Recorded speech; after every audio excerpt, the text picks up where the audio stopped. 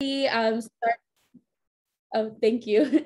Starting with our um, Seattle fellow Camille, Agatha, our fellow from Detroit, as well as Shay, our West Coast Regional Program Director, who is just amazing.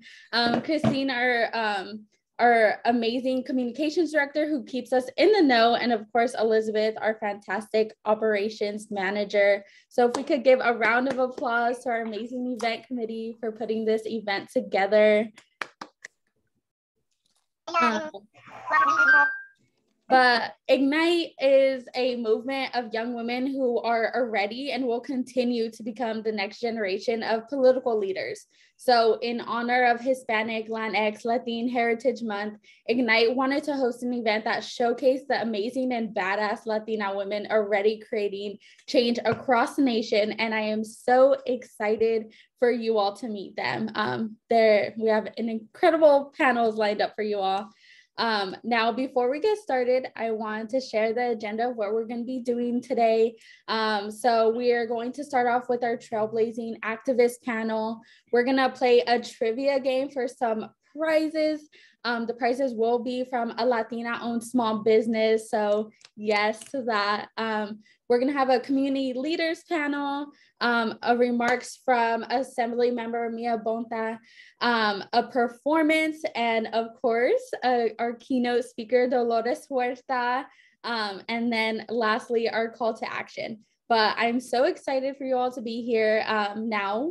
Without further ado, I will pass it over to our amazing Detroit fellow, Agatha, who will be the moderator for our amazing Trailblazing panel event. Thank you so much, Faith. And hi, everyone. My name is Agatha. I am the Ignite Fellow for Detroit, and I will be moderating our Trailblazing Activist panel. So first, I would like to introduce our amazing Latina community organizers.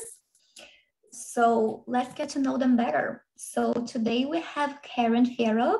She is the Policy and Advocacy Coordinator for United We Dream and has organized in the immigrant youth since she was 15 years old. So thank you so much for coming today, Karen. And we are also going to be listening from Natalie Guillen. She is a community activist and camps leader at the Brown Issue chapter at the University of California, Berkeley. Thank you for coming. And lastly, but not least, we're gonna be listening from Yesenia Valdivia. She immigrated from Mexico to the United States when she was only 10 years old and has supported the immigrant community by working at the legal as the legal services and field organizer for Michigan United. So um, we are gonna have some questions for the speakers first, and then we're gonna take questions from the audience. So if you have any questions, um, please put them in the chat, um, and we're gonna answer them in the end. Um, so I'm gonna make a question and then I'm gonna give some time for each one of our panelists to answer. And we're gonna do in the order of the introduction. So first Karen, then Natalie, then Yesenia. So let's get started for our panelists. on what's your why? And why did you decide to become an activist for the Latina community? And first with Karen. Thank you so much. Um, Ignite and Faith for bringing me into this space. I am really excited to be with you all. My name is Karen Fierro Ruiz. I use she, her pronouns. Um, I am the Policy and Advocacy Coordinator for United Team. I'm also undocumented, uh, currently have DACA, and uh, queer. So I'm very excited to be sharing this space with you all. Um, and thank you for the opportunity. To answer your question as to my why, um, I would say my why has always been my dad. Um, back when we had first immigrated to the US, we actually immigrated to Washington State. So, hi to everyone who is on here um, from Washington. Um, but back when we were first, had first started, we're first starting to get to know the language, get to know, um, settle in our roots. My dad got into a very bad accident, and uh, the job site that he was at didn't cover any of the healthcare uh, costs that um, our family had to take on. They didn't uh, provide him the time to heal uh, from out of work and instead decided to fire him, um, mainly because of his undocumented status. at that point I was still in elementary school, but I def I I knew that in that moment the reason that he had been fired and the reason why they felt that they could fire him was because he was undocumented. And so that was my why and that was all I needed to know that I needed to be there and I needed to be to have all of the resources so that my family wouldn't be taken advantage of um, in the way that they did.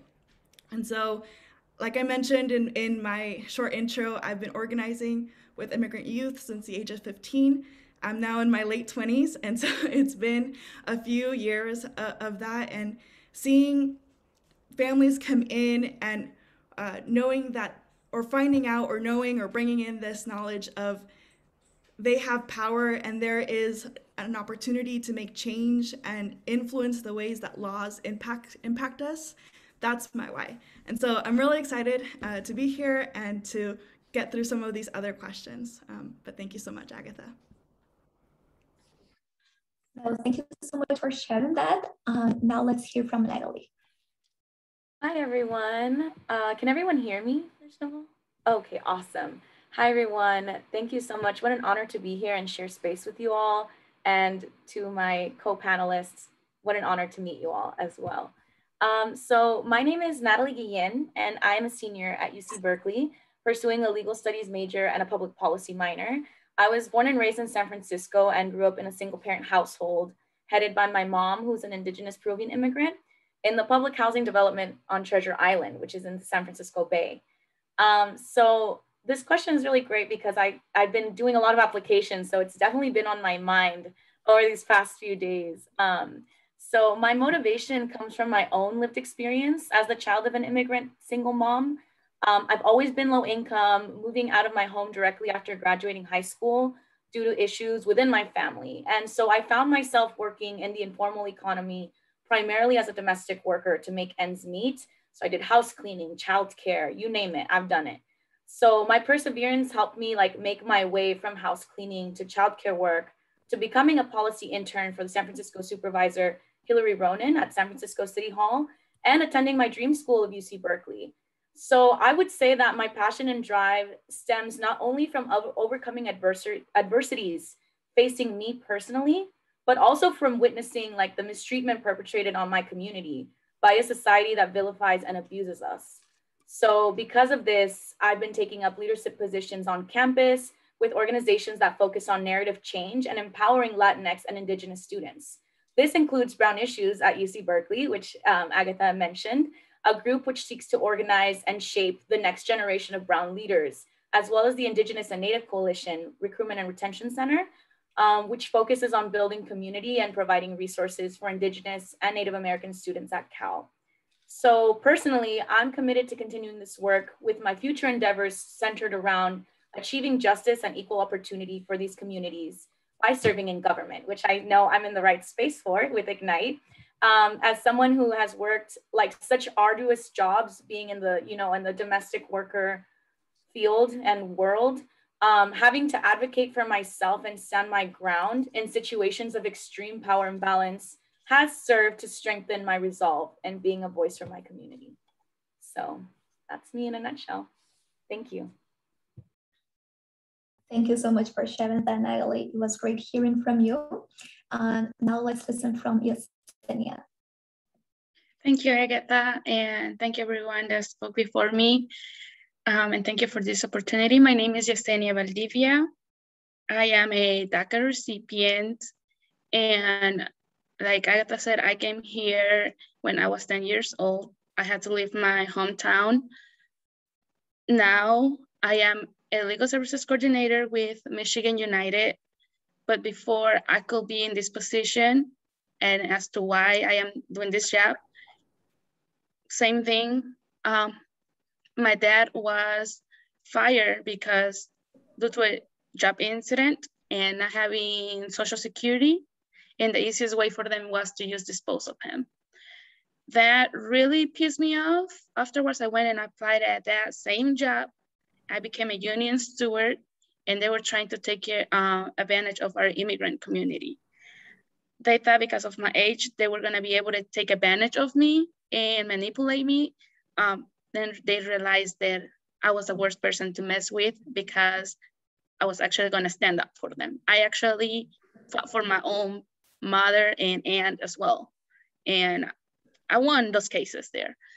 After that, my dad was deported. My, that was in 2014. My mom was deported in 2018. My aunt was deported in 2018, and so was my, my uncle, leaving me with five kids under the age of five to take care of. One of the things that gave me the power to be in this space was when I laughed on my face and told me I could leave, but that I had to, uh, you know, just not to crash. The, the treatment that they were giving my aunt was horrible. My mom told me out of everyone for me not to cry because I was the strongest person. I had to deal with my brother's depression, my cousin wanting to try to commit suicide, and later on also falling into immigration. So I've been fighting within immigration for so long. So now that families come to me, I can relate to them and I can tell them I'm not judging them for decisions that they have made because I have been on that same spot. I came to Michigan United basically with nothing. Mi Voto Latino ended up helping me renewing my DACA in 2019. I was basically homeless by myself. And Michigan United offered me a position as a community navigator.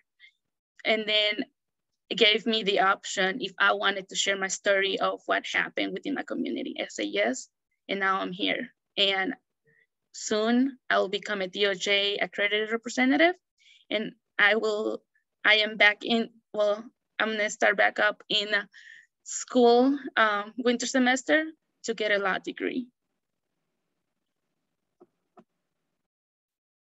Thank you so much for sharing that. And thanks so much for all the panelists. I'm so inspired by hearing on everyone's stories and everyone's why.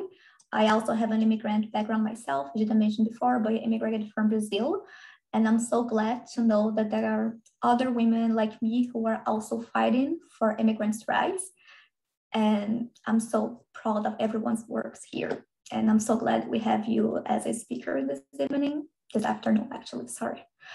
Um, okay, so let's move to the next question, which is from your perspective, what are the biggest challenges that the Latino community is facing right now. Um, you already have mentioned some of those. Um, is there anything in particular that you think it's one of the biggest and should be addressed um, as soon as possible?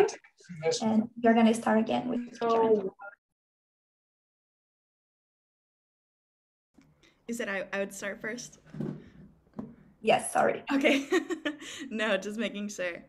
Um, Thank you. Thank you all, all too for sharing um, your why. I think it's really important for us to always come back to that, um, especially uh, when we start going into a lot of like the work where we're working specifically with communities. Um, so thank you so much for sharing that. Um, in terms of what I think it are some of the biggest issues within our communities, I mean, I work at United We Dream, and so one of our biggest issues is or one of our biggest campaigns that we're working on right now is um, citizenship through reconciliation. And so I think a pathway to citizenship for folks who have DACA, for folks who are have TPS, for the farm workers who have been here for for uh, decades, and for the individuals and families who were essential workers during the um, the pandemic, I think there is a really important need there to make sure that there is a form of relief for them through a pathway to citizenship, and that that happens sooner rather than later. I know that um, when I immigrated, I came here at the age of five. Um, my parents thought that we would be uh, somewhere in this process by the age of 15. Um, by the age of 15, that didn't happen, and so I think it's something that we've been waiting for for years. Um, and I feel really honored to be able to work and and commit like my my life to making sure that we have um, that we continue to fight and that there are people who are talking to uh, representatives and um, telling them that we need a pathway to citizenship not just for us but for our parents um, because it is it's really important I think another big issue um, that I have come across within my own experience is the need for um, LGBTQ competency, for LGBTQ um, healthcare to access, access to healthcare, access to uh, resources, housing for individuals who are coming out and might not have the support system, or they have the support system but might not have the resources to affirm their gender identity, to um, live their life, to start their family. And so I think that's definitely an issue that doesn't get talked about a lot within our communities. Um, and it's it's a hard one to start, especially when you are the person who has come out to your family um, and, and is seeking for that for that assistance. But those are just two. I know there's a lot, but I will leave uh, time for other folks.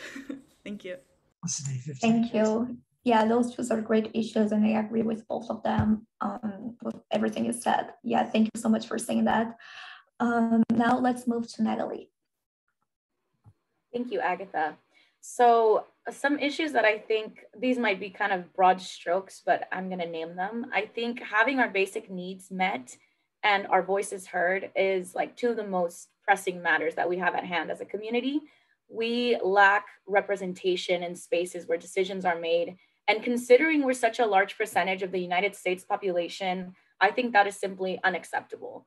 Um, I don't know if everyone's seen uh, John Leguizamo's Latino History for Morons, but he said, if you don't see yourself represented outside of yourself, you feel invisible. And I think that's the case for many of us.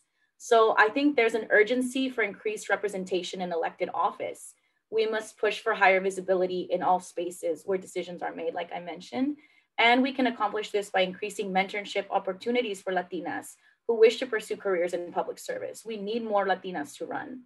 Um, I think that would look like something similar to Ignite or Build the Bench, which is uh, an organization I was part of at the invitation of Supervisor Ronen, my mentor, um, that sought to identify and provide powerful women of color the resources and guidance they need in order to run for office someday. So we need more mentorship opportunities.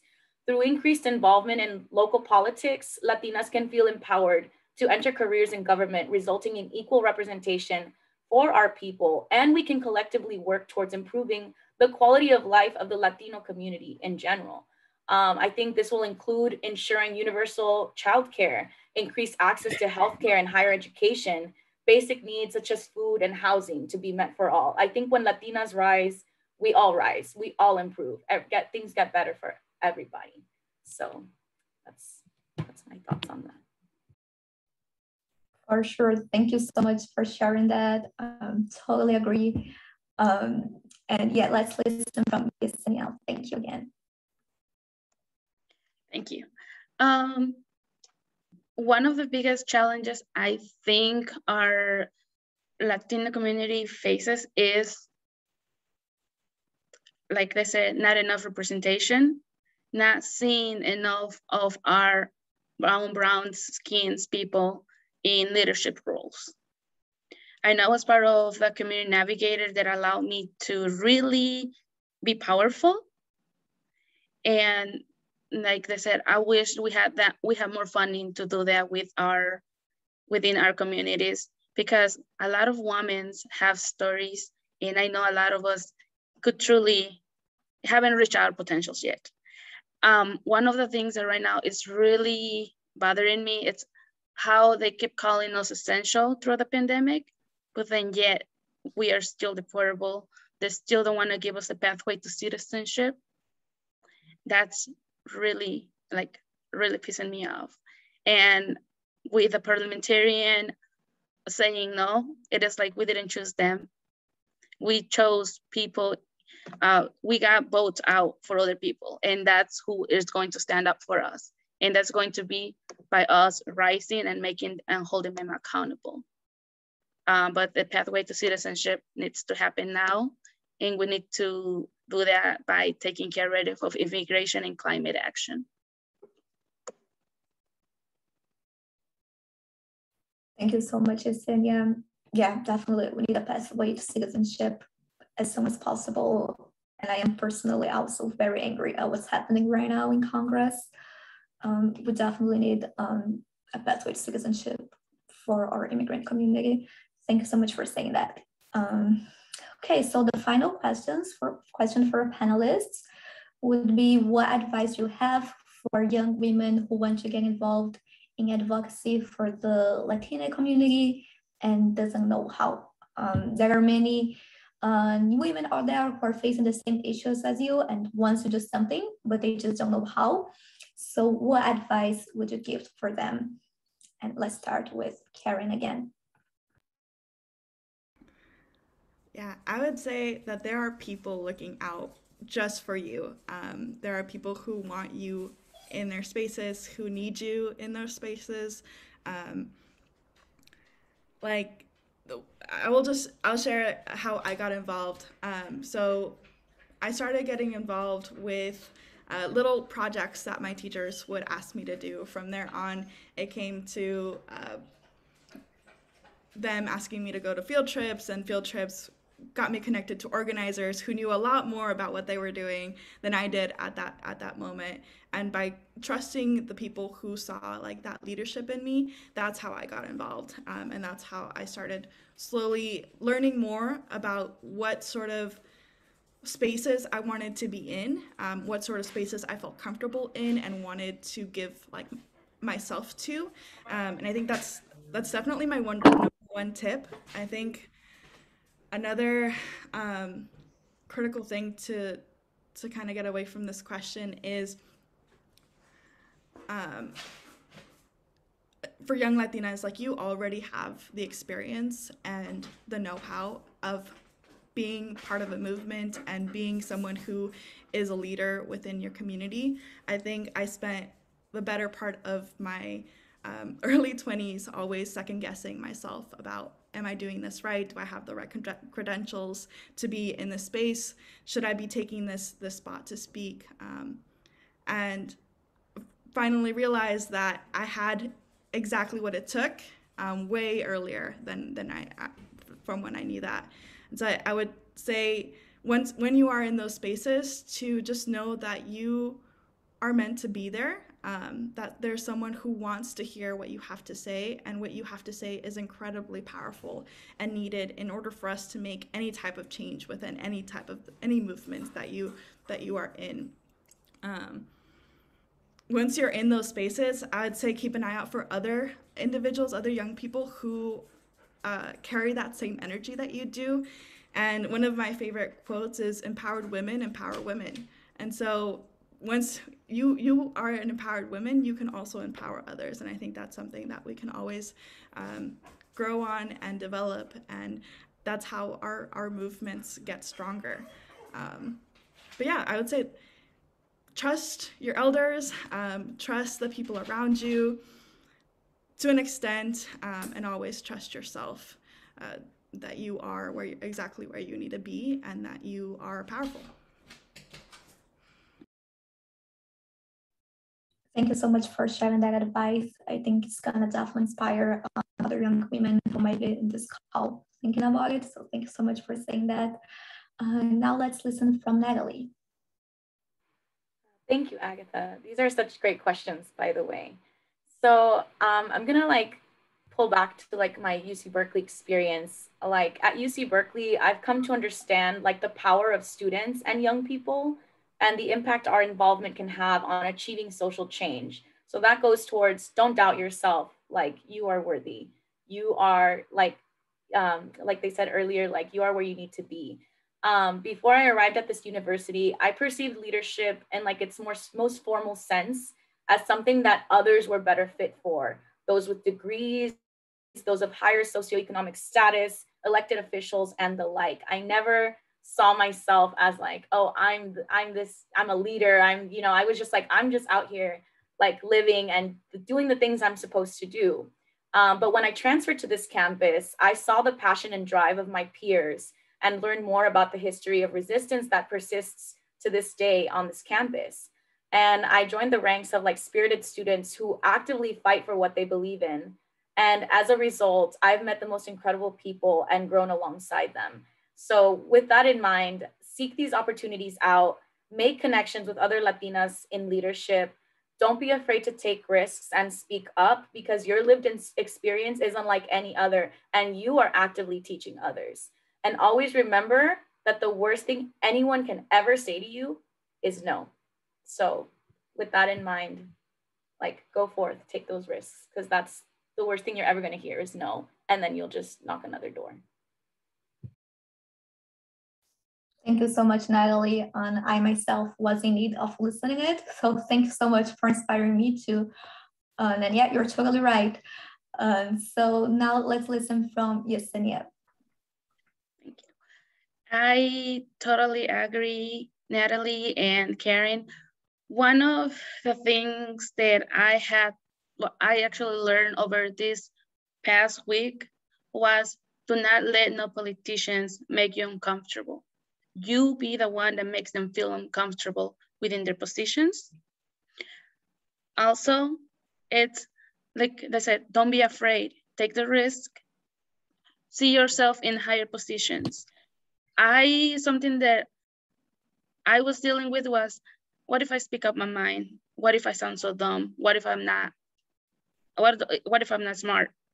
But after I got rid of those thoughts, it's just like, no, we all have somebody within us and you need to give that voice because somebody said, we are not born strong. We are forced to be strong. So we need to really go and like we say with our job, it's go forth and do justice. So let's make those changes in, that we want to see in our communities. Thank you so much for saying that, um, Yesenia. I myself have always struggled with wondering if I'm sounding dumb, especially with an accent. I feel like people who speak with an accent always have to struggle with that. But you are 100% right. And we should speak for ourselves. And by the way, we do not at all. and you sound very intelligent. and so, yeah, um, thank you so much for sharing that. Um, I totally agree.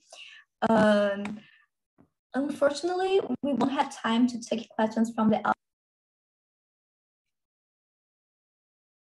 audience, and I'm sure they will be helped to answer any questions you have in the future. And again, I want to thank you so much for coming today. It was so inspiring to listen from each one of you. And again, thank you so much. And now we are going to move on to trivia time with Elizabeth.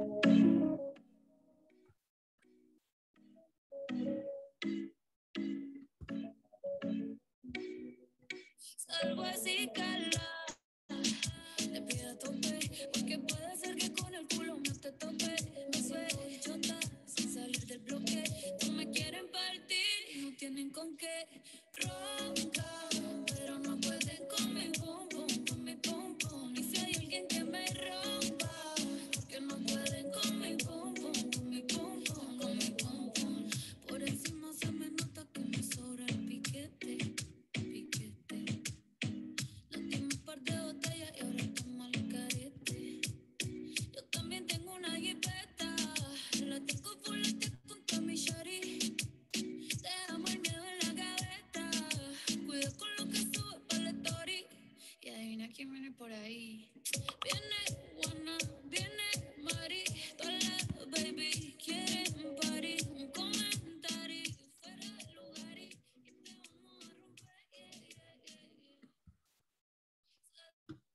Okay.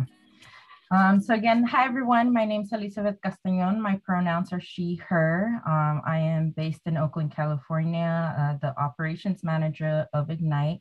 And I'm very happy to be a part of this um, Hispanic Latinx Heritage Month that we are celebrating here with you all. Uh, de nuevo, gracias a Yesenia, Karen, Natalie, and Agatha for hosting that first part um, as our activist panel. I appreciate all of your stories, all of um, your shared experiences with us, your vulnerability, and the voice that you do provide for those that have come before you. Um, so de nuevo, muchísimas gracias a ustedes por participar con, con nosotros. Um, we are now going to play a trivia game. So I do want to let y'all know that this is very interactive. Um, if you haven't played Kahoot before, um, it's just kind of like a, a trivia type game. We will be posting the code shortly to join. Um, but before that, we wanted to let y'all know that we do have a first prize, second prize, third prize, and fourth prize, all of which as um, um, all of which will be different gift cards for Badass Bonitas, which is a, a small business Latina owned uh, boutique, which we were really happy to partner up with. Um, so Kirsten is popping that information on um, the chat, I believe, um, with the code that we will be having. So we'll give you a minute to log in and get that game pin set up so that we can get everyone playing. Um, really excited to have this all with you.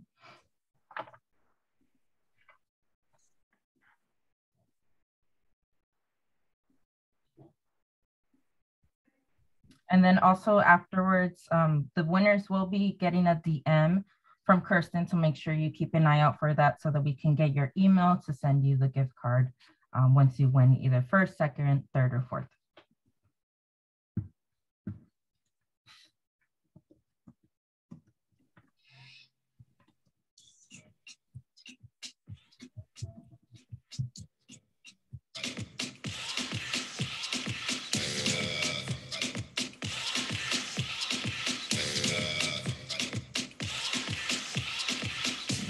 A good choosing your battle.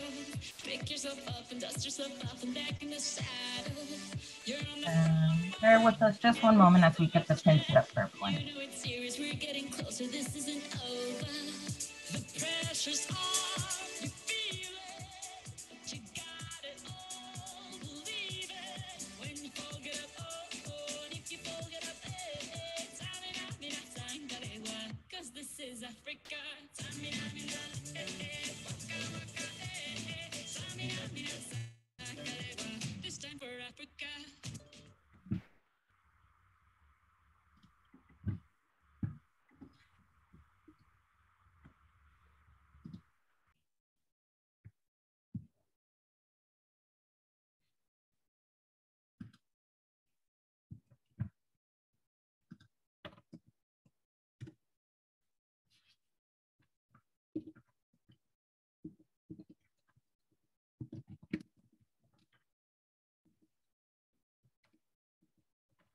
All right, just give us a few minutes. We're trying to get it put up.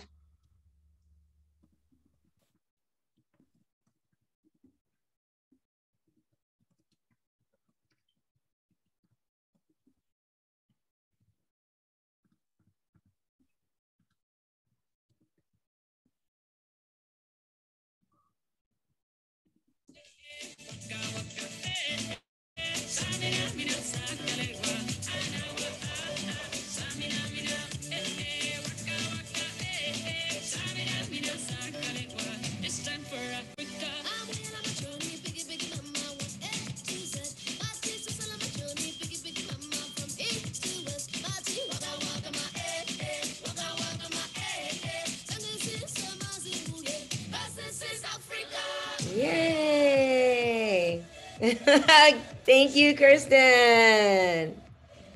Thank you, Kirsten.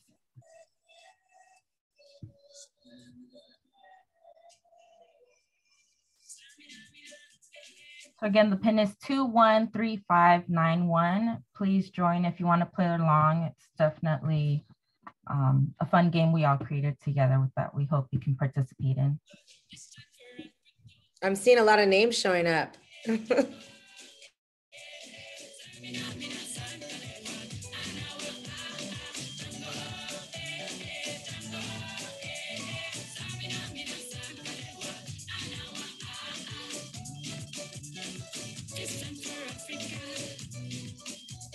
Thirty more seconds. Thank you.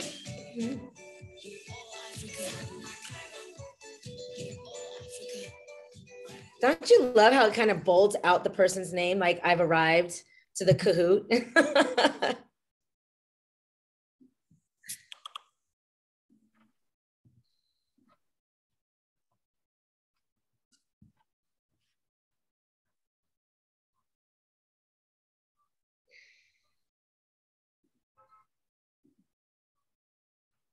Okay, 10 more seconds.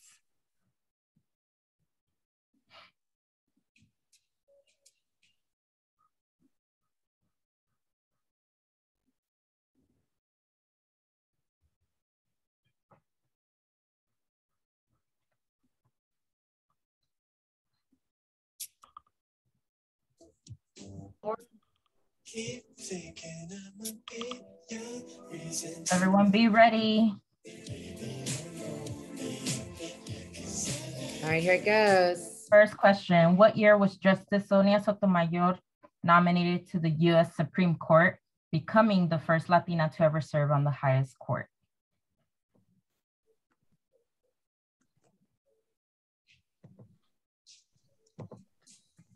Five seconds left. Get the answer.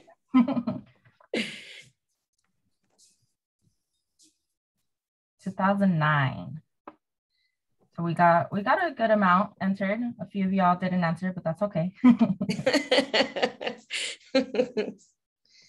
so in the leaderboard, we do have Savannah C with 886 points. Close by Amanda with 830 and Macy with 757. So the next question, true or false? The 19th Amendment gave Latinas the right to vote.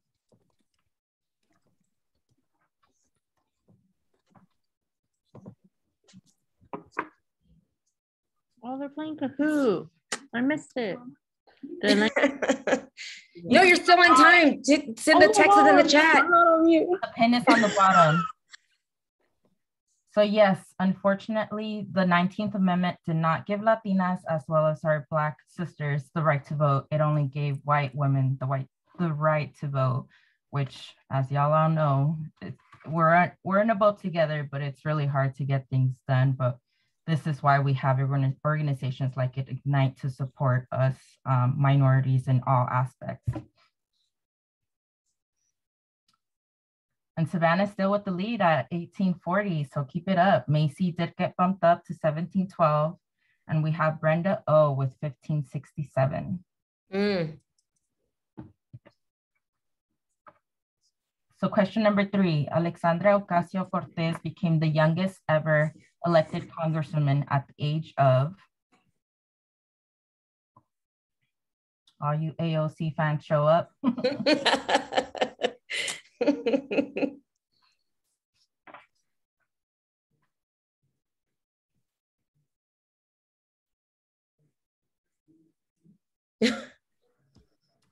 Oh, a lot of y'all thought that she was 26. She does look pretty young, but no, she was 29 when she officially was, um, uh, uh, what is it called? Elected into office.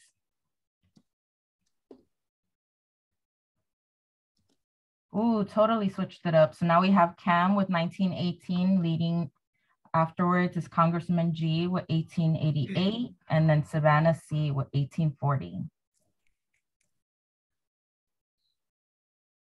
Next question, Ilia- Ileana Ros-Lehtinen was the first Latina to um, be the be the Florida House of Representatives, be in the Florida state, be in the be the first Cuban American in Congress, or D, all of the above.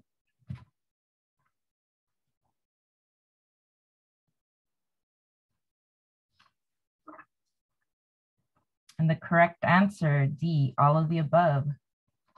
So she has had a lot of firsts, um, as, as many of our trailblazers do.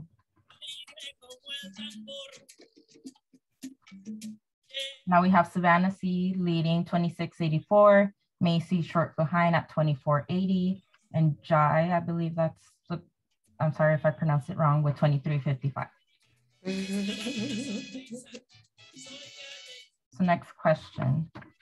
Four out of the nine Seattle City Council members are Latina. True or false?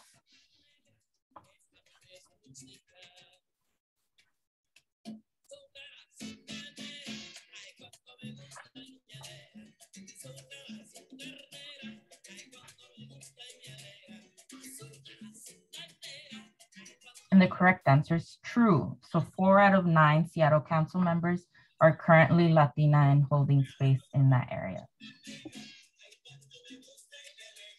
We have Macy with 3384, Amanda shortly behind with 3030, and Cam with 2879. So who was the first Latina in the US Senate taking office on January 3rd of 2017?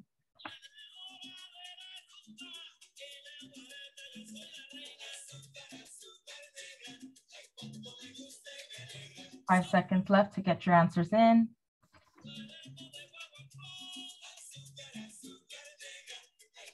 And that is Catherine Marie Cortez Masto. We only have a couple more questions left, so make sure you get those answers in. We will be giving again prices to the top four contestants.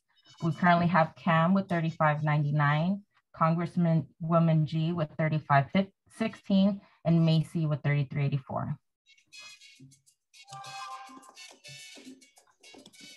So Susana Martinez was the first female governor of New Mexico, first Hispanic female governor in the US, first woman of color governor in the US, or D, all of the above?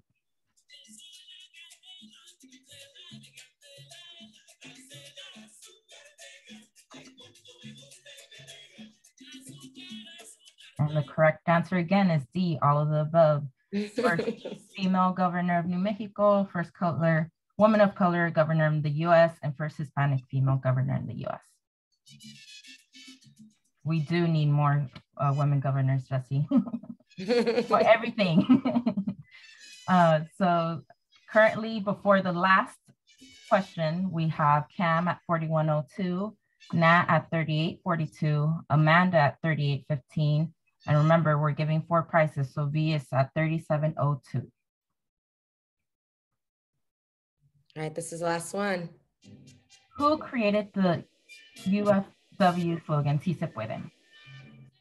Cesar Chavez, Dolores Huerta, Ellen Ochoa, both Dolores Huerta and Cesar Chavez.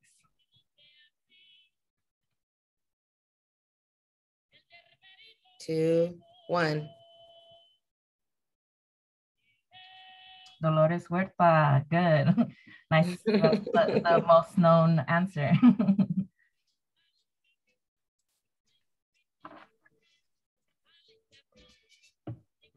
so in third place, we got Steph.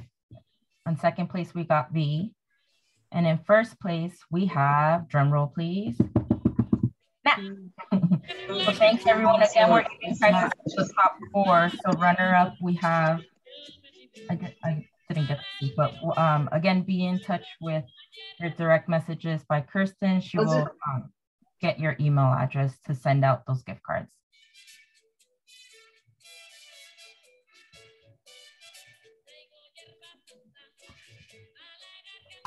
And then next, I'm very happy to introduce our Seattle fellow, Camille Gix, to take over the next part of our um, presentation. Thank you, everyone. Awesome. Thanks, Elizabeth, for a very fun game and everyone who's spoken so far. It's been super inspirational to hear all of the amazing stories that you all have had to share. Um, as Elizabeth said, I'm Camille Gix. I use she, her pronouns, and I am the fellow for Seattle for Ignite. Um, and I will be leading our community leaders or moderating our community leaders panel. So I want to first um, introduce our two panelists.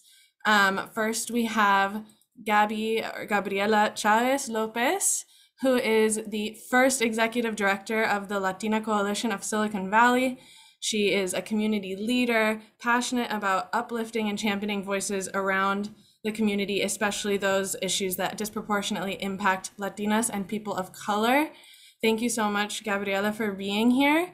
And then also, I'd like to introduce the candidate for my neighboring district, uh, Washington, or for the United States Congress, Washington District 9, Stephanie Gallardo, who is the daughter of a refugee and educators and an educator herself, and will be uh, up for election in 2022 for US Congress. So thank you both so much for being here. I'm really excited to get started with you. Um, so I'm going to ask our first question, and I'll go to Gabriela first and then Stephanie. And so feel free to expand on your introductions and then answer the question. So, my first question for each of you is Who has been your biggest influence and inspiration bringing you to where you are now? Starting with Gabriela. Awesome. Thank you so much. Um, thank you so much, Shay, for the invitation. I am so just um, happy to be in community with all of you amazing women. I love the mission of Ignite, and so um, I am here for it definitely. Um, I was born and raised in actually California Central Valley, so the farm worker movement is very near and dear to my heart. That was the first exposure to organizing and people with you know, um, perceived non-privileged, being able to come together and change stuff in their community that they saw as unjust and unfair. And so um, that's foundational to, to who I am. And Dolores, I grew up knowing her, seeing her, and just being part of that movement. Um, my both my parents taught at Fresno State, so I'm a child of, of educators. Um, and so, speaking of that, um, my father was my uh, my first teacher. My parents are obviously my first teachers, um, but my dad was a community leader, um, you know, in his own right and we share the same passion and vocation for helping others. He went the educator route. I went sort of the political uh, advocacy policy route, um, but we still we still are doing the same work uh, similarly. Um, you know, he started as a teacher, he became a professor, he became a university president, um, but he always stayed true to himself, his authentic, humble being, and he always remembered where he came from.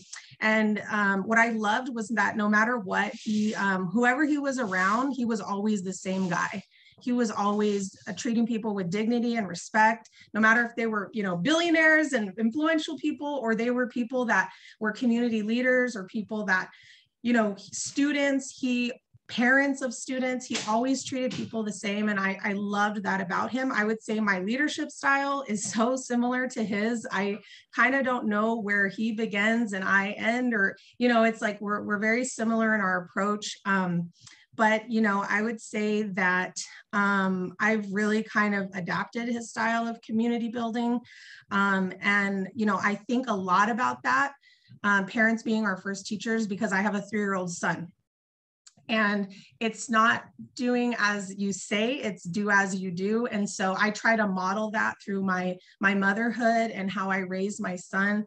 I think about how influential my parents were in my life. And so um, that's something that i'm constantly thinking about as i'm raising a young man of color. Um, and um, and so i'm just very proud to be here and um, share more about my story and uh, hope you find some some tidbits in it because um, I'm very honest. You'll find that out about me. So please ask me any questions you have and I'm just really happy to be here. Thank you so much, Gabriela. And I'll pass it over to Stephanie to answer the same question. Who is your biggest inspiration? Um, thank you so much, everybody. My name is Stephanie Gallardo, and I have to apologize if you hear a noise behind me. It is my dog. My husband left the house, and my dog is a little bit wild. So um, very excited to be here with you. Um, I am a history teacher. I am a union leader, and I'm also a candidate for Congress in the 9th Congressional District here in Washington State. Very excited about that. It's a um, very new feeling, um, but the people who inspired me most, I was actually really excited to hear uh, Gabby's story because it's very similar to mine actually. Um, my my parents, both my mother and my father, are the people that have truly inspired me on this path. Um, my mother um, actually recently just lost my father. We lost my father about a year and a half ago um, to cancer, and he was a refugee from Chile. He arrived here in 1976 after the coup that happened um, as a result of the US-backed um, military dictatorship on the Salvador Allende government, which was the first socialist elected government in Chile, um, also in the in uh, South America. And um, I'm incredibly inspired by my father, even though he's no longer with us. Um, first and foremost, because he came to the United States at 14 years old and was able to create a life for himself and truly for his family um, that was totally beyond imagination at the time when he first arrived here. And um, he truly also inspired my political understanding of myself, of my family, of the, the people around me, of our system, the system of capitalism, right? And um, I think that, you know, my father is somebody who I'm constantly considering what would he think in this particular moment in history that we're living through right now? What would he be doing? and of course, I have to give credit to my mother, who is um, still with us, and she is absolutely um, the most inspiring person that I can, can think of on the planet. Um, she was a young, brown young woman growing up in Yakima Valley here in Washington State. And um, she's a daughter of farm workers. She herself was also a farm worker at certain points in her life. Um, she was dyslexic until she was in high school. Um, so she was in special ed programming all, all the way through her um, early career, or excuse me, through her high school career. And um, she actually became a teacher just like me. I followed her path. Um, and she, so she was a teacher. She then became a principal. She then became a district administrator in the largest school district here in Washington State, which is Seattle Public Schools. Um, and then she now is the assistant superintendent for um, the OSPI, Office of Superintendent of Public Instruction, and is the first Latina to hold that position in Washington State. Um, so we feel obviously extremely proud of her.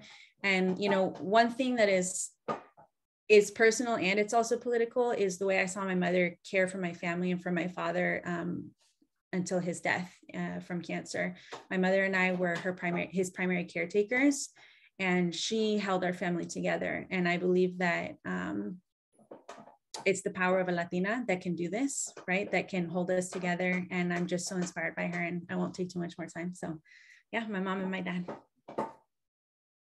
Thank you so much, both of you, for sharing such personal personal stories. It's really, really inspiring to hear how you were able to get to where you are today with all of the support from your parents. And um, yeah, parents are amazing. So thank you for sharing that.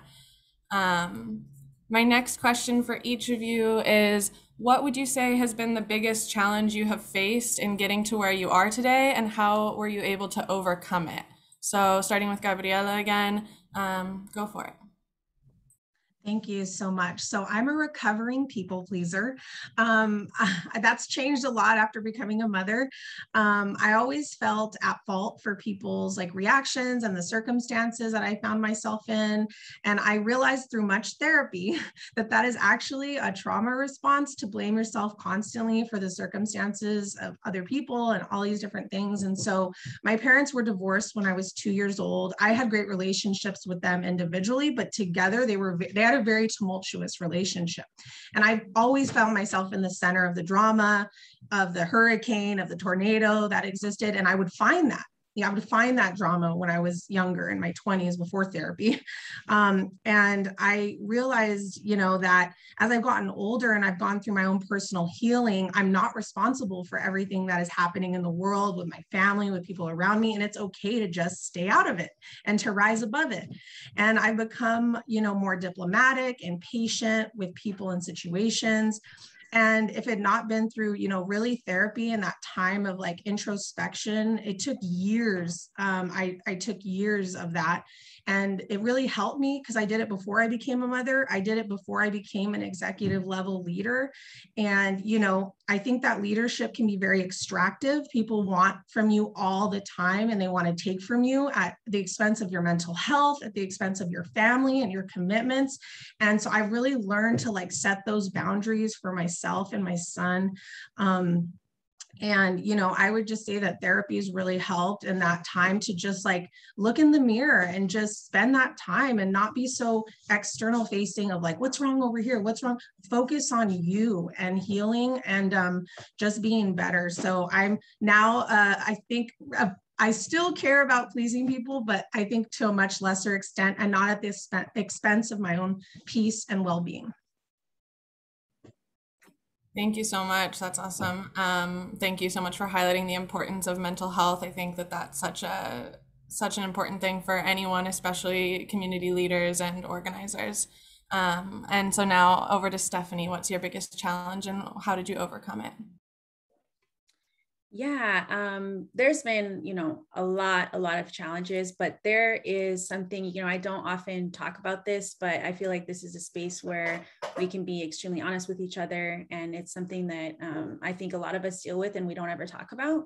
Um, so, one thing that I have really struggled with over my lifetime and have been able to manage through therapy um, is addiction. And I think it's something that is really stigmatized. It's something that, um, nobody wants to deal with. We push people um, to the side who are struggling with addiction and we, you know, try to blame it on them or we try to, um, you know, have negative characterizations and stigmatizations about them.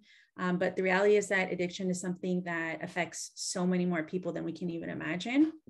And the way that I definitely have been able to overcome um, it, and I will say overcome with a with a stipulation, right? You don't ever overcome an addiction. You're always working on it, and you're always um, trying to continue to stay clean and stay, um, you know, sober. And um, for me, it has been therapy. It has been family. It has been honesty. It has been being honest with people and saying, you know, this is a moment where I'm not feeling okay about, you know, drinking or whatever it is for that particular person, you know. Um, for me, it has been something that I have had to be upfront and honest with about my family or with my family. And they, I was truly expecting, you know, when I came, you know, to to the truth with them about these things um, several years ago, um, I was afraid that they were going to stop it, Lola.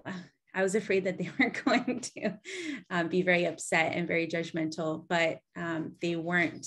And I think we need to give our credit to our families where they deserve it, um, that they're going to be able to um, handle things in a way that is good for all of us. So that's something that I don't often talk about, but I, I really want to share that in this space and um, give folks who may be struggling with addiction or sobriety in any way, shape, or form um, that you know you're not alone in that. And even people who are running for Congress, I'm so sorry, even people who are running for Congress um, have been through that. Yes, I love that. I love that both of these answers went so far into the vulnerable space, into mental health and mental health illnesses as a lifelong attendee of therapy for a melting pot of mental illness. I really appreciate and feel inspired by the fact that you all have gotten to where you are um, with all of that in your history. So thank you for sharing and being vulnerable with us. Our next question is In your opinion, what do you think is the most important issue that is currently facing the Latinx community today? And what do you hope, how do you hope to see it change within the next few years? So over to Gabriela. Yeah, this is a really challenging question because um, as a Latina who works on policy issues, and I'm kind of issue agnostic in the sense of like, you pick an issue, it touches the Latina community. Um, and so um, I think with this group particularly, and one, one of the ways that I kind of share a similar uh, passion as you all is this idea of, of representation. And really you know that we don't have many examples of latinx leaders in a variety of spaces. And the ones that we do we have one or two but we might not identify with them. We might not think that they represent us or because there's not a variety there's not a diversity of uh, latina or latino or latinx leaders in different spaces. And so sometimes if we even if there are one or two we, if we don't identify with them we still don't see the representation that we may want whether it be you know afro latinx Latinx or Asian Latinx or, or LGBTQ plus or or they're dark or their skin, you know what I mean? So it's like so sometimes I think that that we really struggle with with representation and being that you know Latinas were the most impacted group during the pandemic you know one in three lost their women particularly I'm talking about Latinas, lost their job in California. Three out of four undocumented women lost their jobs during the pandemic. Um, and we're already in Silicon Valley dealing with a really deep wage gap. So it's 33 cents on the dollar in Silicon Valley.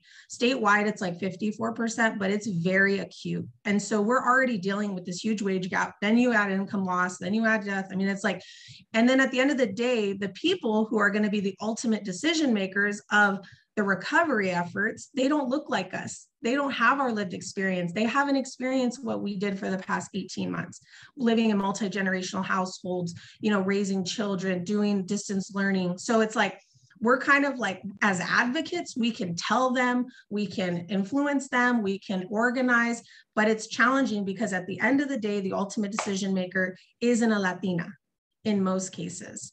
And so I think I really give a shout out to my, my fellow panelist, Stephanie, who, who is um, running for office and who wants to be in that position because it's an, it's a, it's a it's a huge role.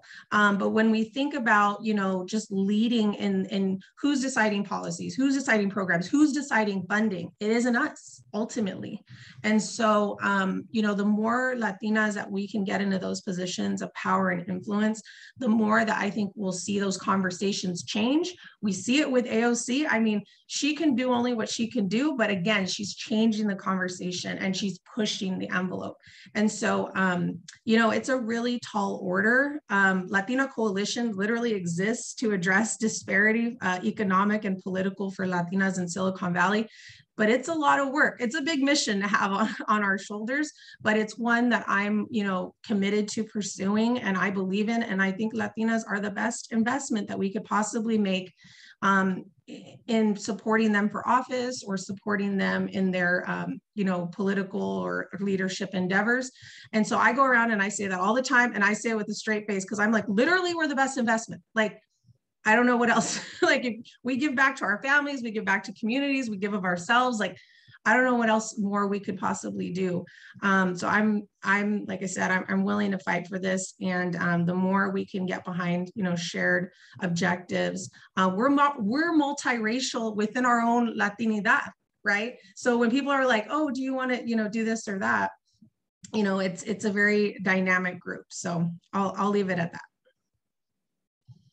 Thank you so much, Gabriela. That's a really great um, point on representation and getting more more Latinas in office and more Latinas in general representation in these positions of power. And so, definitely with that, I will pass it off to future Congresswoman Gallardo. Um, yeah, I actually just want to build off of what uh, Gabby was finishing with there. Um, it's an issue that exists within our community and also you know permeates to outside of our community. Um, i believe the biggest issue that is facing our community is actually anti-blackness. And you know the reason i bring this up is because um, you know there is this constant pressure that people who uh, carry marginalized identities feel right? There's a constant pressure of survival a constant pressure of um, being able to get from day to day to day, from paycheck to paycheck to paycheck. Um, and the reality of the situation is that we can't always um, be in competition with one another, right? Oftentimes we play this game called uh, Oppression Olympics, where I'm so sorry, my dog, just give me one.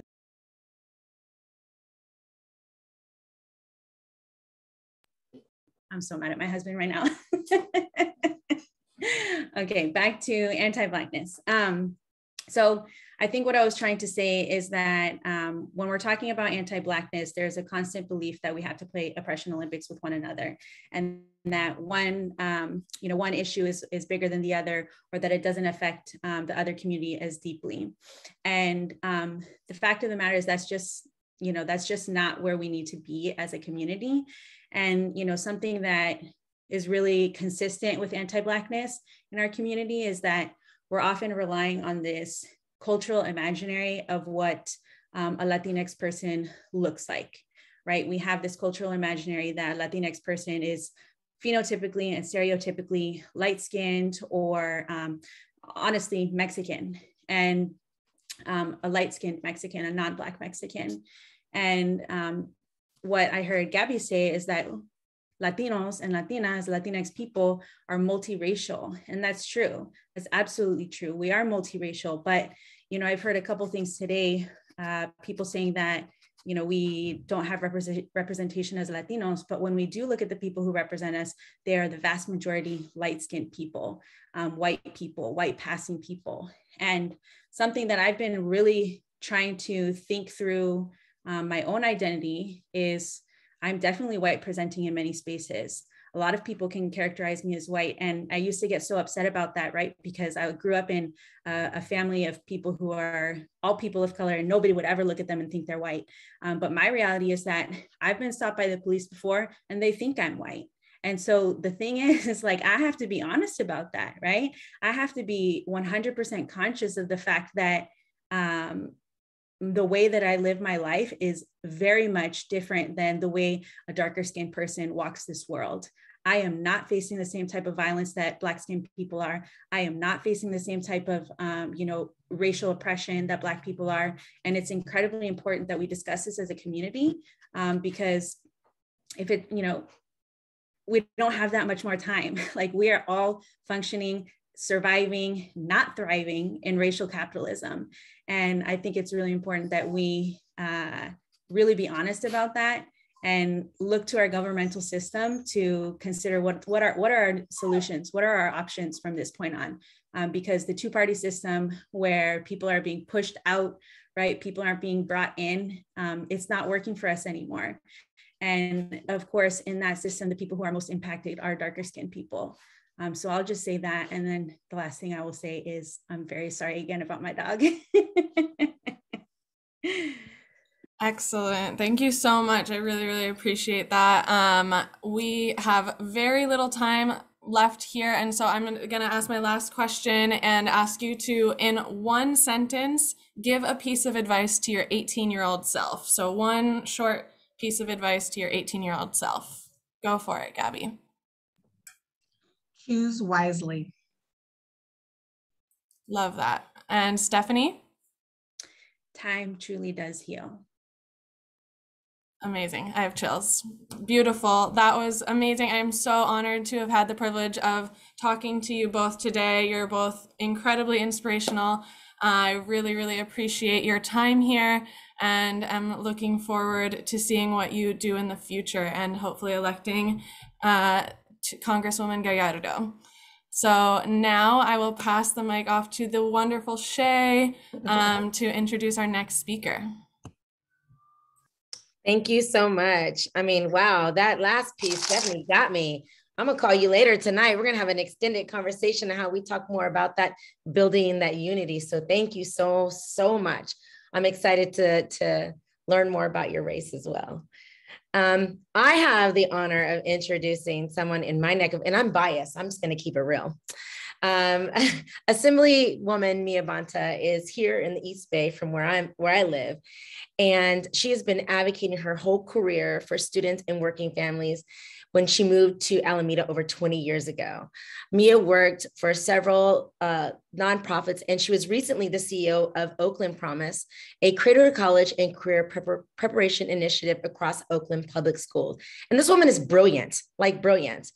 She's no longer in that position because uh, we just elected her to our state assembly.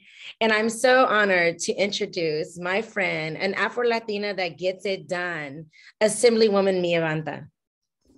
Thank you so much, Shay. So wonderful to be with you all. Um, good afternoon, my powerful Ignite Hermanas. Um, it's wonderful to be with you. My name is Mia Bonta, and as uh, Shay said, I'm a proud Black Latina from Puerto Rico. Um, I'm the daughter of activists who protested outside of the halls of power so that one day I could actually be inside those halls of power. And uh, about a month ago, I had the opportunity to be uh, sworn in to the state assembly the California State Assembly representing Oakland, Alameda, and San Leandro.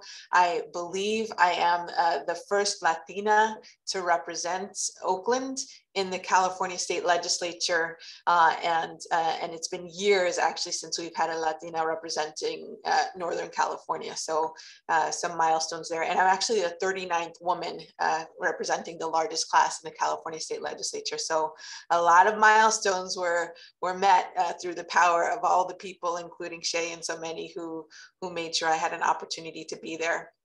I wanted to just share a little bit of my story uh, with you all. Um, and uh, with this theme, and thank you so much to the panelists before. Stephanie, your story is incredibly powerful, Gabi as well. Um, uh, and I want us to focus on something that's uh, really important. It was wonderful to hear um, that Dolores Huerta actually uh, brought us the phrase, si se puede. I want us to be able to take that uh, as the foundation of this idea, which is that we need to create our own yes. We need to create our own sí because uh, we have uh, so much power to be able to do there. But let me tell you, all we get is no's in our life. That's all we get uh, through people undervaluing us, not making sure that we have the ability to be seen, heard, and believed in uh, and empowered. And so we need to create our own C. My C was created uh, when uh, when my mother, as a Young Lords Party activist, and and uh, my father uh, used to be like wearing combat boots and uh, no bra, being down in uh, in the City University of New York, trying to fight for Puerto Rican rights, trying to fight for ethnic studies, trying to fight for policing the police, housing rights, education rights, all the things. Quite frankly, like 50 years later, we are still fighting for. Uh, and I had the benefit of being raised by that powerful Black Latina woman um, who knew what it was like to work every single day of her life, but still experience uh, what it meant to not have at the end of the month everything add up. And, uh, and so even with that, uh, I ended up moving 13 times in 16 months, years and had uh, my mother and my tias and my, my abuelas um, really presents the power of what it meant to be a Latina, the power of what it meant to be a woman in New York City, and uh, and still really fighting for everything that we believed in. So strong uh, that uh, I was able to go on to uh, to uh, college and law school. I graduated with $154,000 of student loan debt uh, that I got to pay off just in time to be able to make sure that I could send my daughter to college. Um, and uh, and I remember being in my early in in my being 18 years old and fighting for women's reproductive health, which again here we are again still having that same damn fight. Um, uh, our rights to our bodies, our right to ourselves, and our rights to be able to choose uh, our reproductive health and and choices. Uh, at 19, I stood vigil and uh, participated in a hunger strike demand, uh, demanding that the US divest from South Africa uh, in our worldwide fight against apartheid at the time, fighting against Bush's war on drugs. In my 20s, waged war and political actions to end the Clinton administration's uh, super predator narrative, uh, where it was where if you were on the corner and you were uh, there were more than two or three of you, you were part of a gang, and somehow that meant that you had the um, that the state had the right to lock you up uh, and imprison you um, in that narrative. Uh, in my 30s, being a part of the most progressive movement uh, nationally, fighting for immigrant rights, a pathway to citizenship, and um, and fighting against the massive deportations of the Obama administration at the time. Uh, and most recently, still in the work that I've done as an advocate and the social service provider, fighting for education rights, housing justice, tenants' rights. And I had the opportunity uh, to, to think about what it would mean to go and uh, decide to turn that activism into elected office. And I didn't take it lightly, I'm going to tell you. I, um, it took me 17 years to run for school board. I walked into uh, I walked into a kindergarten uh, um, back to school night for my daughter, and uh, at the time, and I said to uh, my partner when I came home, I said, I'm going to run for school board. It took me 17 years to make that decision. So it was a long time before I made my own seat.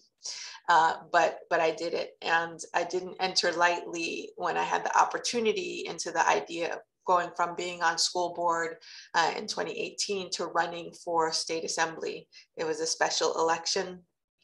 Uh, I'd have a lot of quiet conversations with people who knew me, who could believe, who believed in me. I had to stop listening to the people who offered their nose to me uh, and and and and held that held that no up to a mirror for me. Sometimes the no was like, I'm worried for you. Sometimes it was, I'm afraid for you. Sometimes it was, I don't think you can do it. Sometimes it was, you're not black enough. Sometimes it was, you're not Latina enough. Sometimes it was, you know, you're not from you're not from this particular community. Whatever it was, I had a lot of no's, and I had to be able to see through all of those no's to be able to find my path to yes. And uh, and I encourage you all to be able to do that, um, to really think about what it means for you to find your path to see. Uh, and, uh, and really, you have to, have to, have to be able to block out every single no along the way because you know they're coming. So you got to do something to push them out. Uh, and participating in Ignite is the perfect way to be able to find your way to see. uh, C for you, see for our community, see for Latinas, see for making sure that we have the kind of representation that we deserve uh, in positions of power and positions of influence, and to make sure that we have an opportunity to have representation matters. Because now I am bringing the experience of my mother, of my sisters, of all of us, of my sisters here on this call into the State House and damn skippy straight, I'm going to use that perspective to make sure that when we're talking about immigration rights, when we're talking about education, when we're talking about health justice, criminal justice, it's going to be seen and experienced through not only my voice, but our collective voice. So I'm so proud to be able to be with you all today um, and uh, kind of in anticipation of our of our leader, of our our woman who found not only her pathway to see, but to our collective power to si se puede, um, Dolores Huerta. Um, really looking forward to hearing what she has to say. It's always an amazing honor to be able to, to just be in her presence and to hear her wisdom uh, and to be a part of that. So leave you with this. We need you. We need more women in office. We need more Latinas in office. We need to make sure that we have more Black Latinas in office. Uh, because representation matters and because women are the backbone of our families, of our community, of our culture, of our democracy. Uh, and uh, and I'm going to be with you every step of the way. Shay knows how to get in touch with me. All sure do. Are my sisters, uh, mi hermanas, unidas, and uh, and we'll do it. So thank you for the time, and you go out and do it too. thank you so much. Assemblywoman Bonta Mia, for all your leadership and all your very, very amazing words. Um, it's, it's really hard when you have a lot of your friends here, and I'm super excited. And before we introduce Dolores Huerta, who everyone's been waiting for, we have a piece by another Bay Area legend and Queen of the Bay, Camille has wrote something specific for today. So I want to introduce you to Camille Carlos, AKA Thug Mrs., the Queen of the Bay.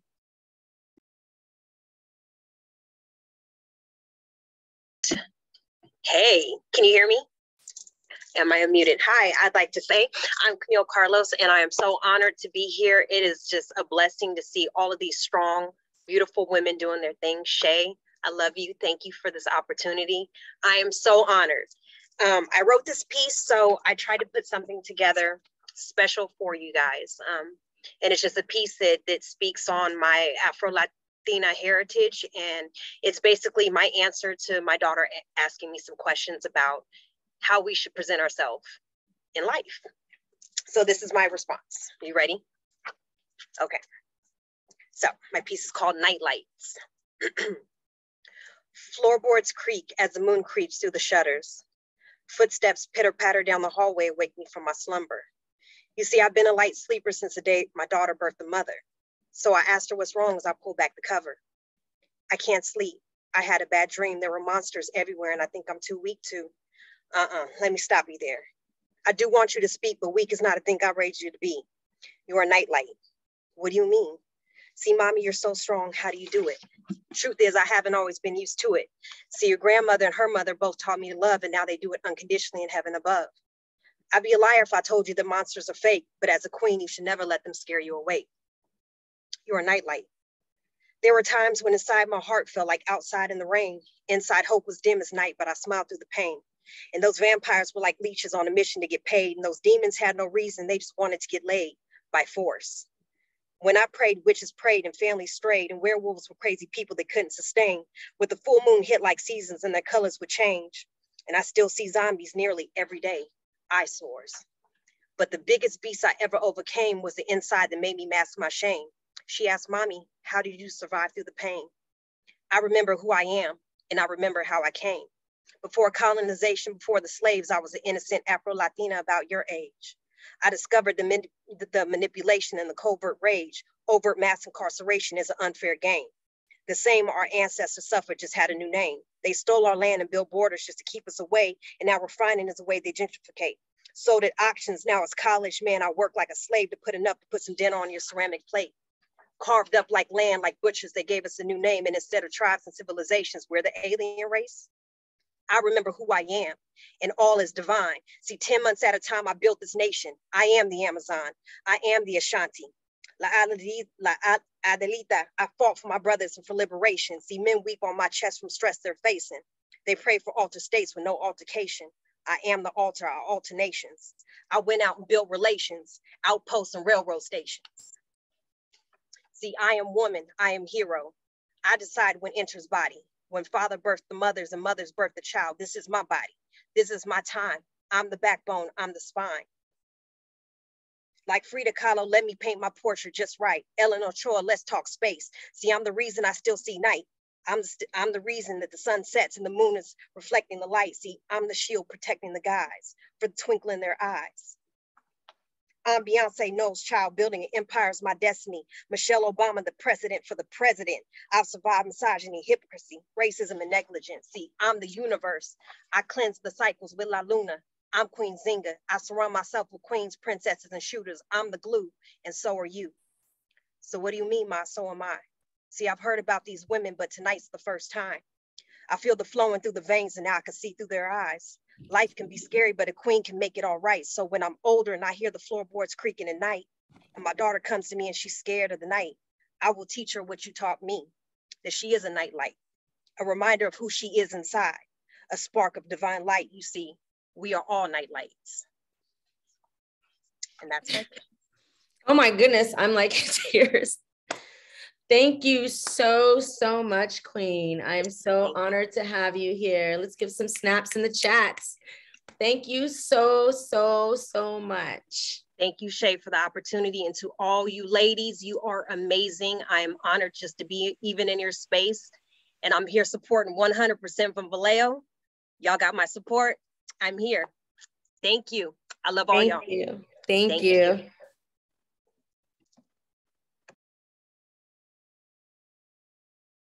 Next, I will bring it back to Faith.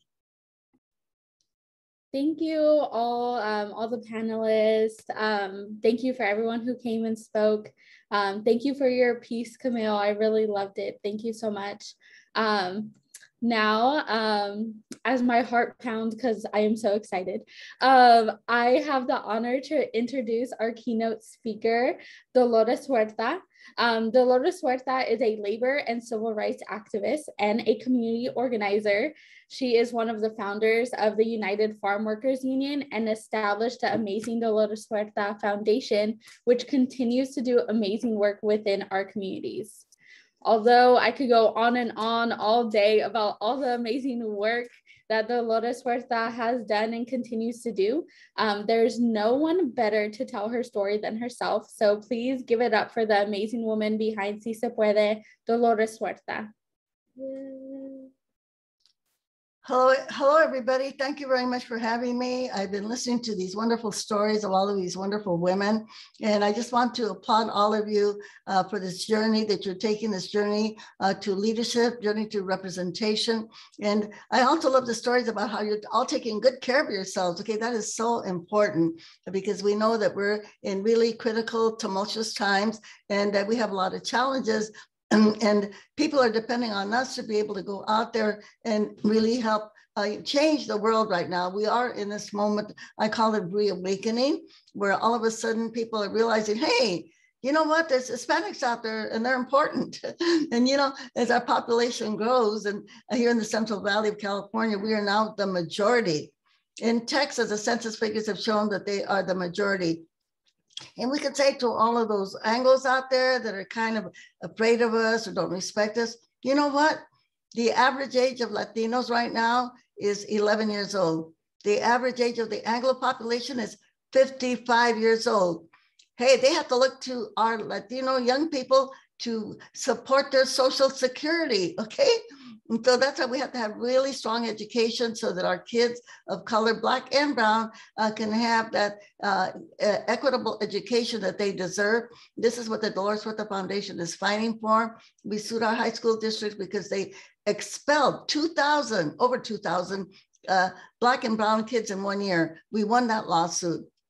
So we are organizing in 17 different school districts here in the Central Valley of California and the Antelope Valley also, which is Los Angeles County, uh, to organize the parents and the students so they can go to those school boards and make sure that we get an equitable, equitable education for our Black and Brown students. So we have a lot of work to do. We know that we need women in leadership to do this. And I like to quote Coretta Scott King, who said, unless uh, women take power, we will never have peace in the world. Unless women take power, we will never have peace in the world. And I just want to share with you too that right now we have uh, urgency. We have some legislation up there uh, in the in the U.S. Senate, the Equal Rights Amendment, to put that into the Constitution of the United States. Did you think we were already in there? No, we are not. Okay, and so we've got to we've got to get you know I'm, I'm, I'm going to ask all of you send an email to our president Joe Biden and say they're going to have that reconciliation vote where they're going to try to get a lot of things agreed to that they're having trouble getting uh, getting uh, uh, agreed to in the U.S. Senate, and say in your email we want to get the Equal Rights Amendment into the reconciliation bill. Okay. The reconciliation bill, which only take a majority vote, and that way they won't have to depend on all of these knucklehead Republican senators that won't vote for anything. So we have to make our voices heard and please put it out there to your network. We need to flood the president and the vice president Kamala Harris with messages say, we need the Equal Rights Amendment and we need it now. So I know uh, that a lot of you are, are going out there and taking these positions of power that we need. I like to say, if there's a meeting somewhere in the world, anywhere in the world, if you do not have 50% of feminists at that table, they're going to make the wrong decision. So we know what our job is. Our job is to get more women elected, get more laws that will protect uh, working families, you know, like that uh, Build Back Better Act that they have right now also in the US Senate uh, that will bring, uh, uh, it will bring a monthly check to every family with a child tax credit. You know, it will also bring universal child care, something that we need, ladies, universal child care so our kids can get a education starting with pre-kindergarten, you know, two, three years of community college, expanding the healthcare system to include dental and vision for our older folks like me, okay? So we can make this happen, but we just gotta get out there and work. Uh, we're not just advocates, okay? We are organizers. We're not just advocates, we are organizers. We have to reach out to more women, get them involved in the feminist movement uh, so we can go forward. I wish I could say longer with you, but I've got to catch a train. Okay, so I will love to come back with you for uh, one of your next sessions, and I just want to congrat congratulate all of you what you are doing. Uh, please go to our website doloreshuerta.org. And yeah, you can learn more about the work that we're doing on vaccination clinics and food banks and redistricting, uh, voter education, voter registration. Uh, the Dolores Huerta Foundation, we are very, very busy and we want to uh, just invite all of you. Let's join the movement. Let's go forward.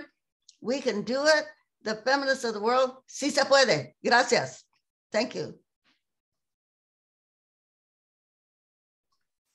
Thank you so much, Dolores Huerta. Um, it's always an honor to hear you speak. Um, before you go, does um, is it okay if we take a group picture? Um, before yeah, let's let's do it fast. I can't miss my train. Okay. Okay.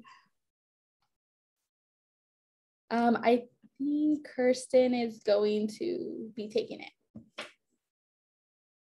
Uh, um, camera on if you're comfortable. I'm counting down one, two, um, three smiles. I have a few beautiful screens of faces to go through. Three, two, one, smiles. And one more screen of beautiful faces. Three, two, one, smiles. Thank you. Yay. Thank you again, Dolores Huerta. Thank you, Dolores. Bye. Be safe, safe travels. Okay, everyone. Um, this has been an amazing event. Uh, but before we end, I want to give and share a couple ways that you could stay connected and get involved with Ignite. Um, so we do have a lot of trainings to offer and a lot of events to offer that you all could participate in. So if you visit our calendar for events, you will see a list of things that you could get involved with. Um, even with Run Now, which is going to be starting tomorrow, I believe it is. Yes, tomorrow, and is going to be hosted by Shay. So, yay. Um, if you are available tomorrow, please register for Run Now. It's going to be amazing. And you are still able to apply to be a fellow for Ignite. So, in select cities, um, you can still be a fellow. If you want to get involved, if you want to join, um, please apply, apply, apply. We need more women. We need more badass women. Um, so please apply. Also, um, you can be a part of an Ignite college chapter or high school chapter. Um, so if you are in high school or college, um, get involved with Ignite's college chapters. And if the, you don't have one on your campus, um, feel free to email us. You can find us on the Ignite page. Um, and we can help you get started with your own college chapter. Um, so that's only a couple ways that you can get involved, but there's so many more. Um, sorry, there's an ambulance going by. um, but also if um I think in the chat we are going to be dropping the participant form. So please fill that out so we can make sure that you are still connected to every awesome, amazing thing that Ignite does. Um, and thank you so much for attending. Gracias a todos, todas. Um, have a great weekend. And um, if you all have any questions, um, I can stay for a little bit, but um, please have a good weekend. And thank you again for coming. Gracias. Gracias.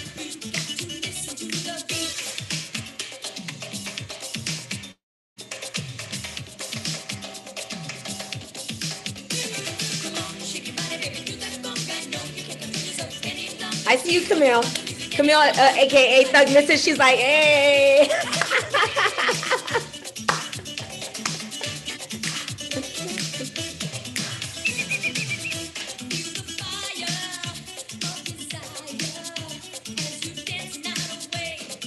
I know. Thank you all for staying over.